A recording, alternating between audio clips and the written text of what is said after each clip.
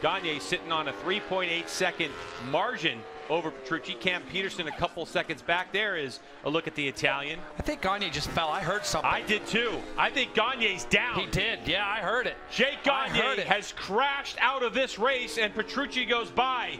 And there's a look at a Fresh N Lean progressive Yamaha in pieces on the ground. Wow. He's going to start flipping and rip the front end off that R1.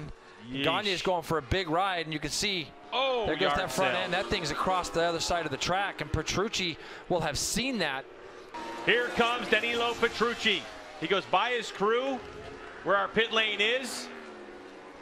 And Petrucci did everything he needed to do to keep himself in a position to win this race.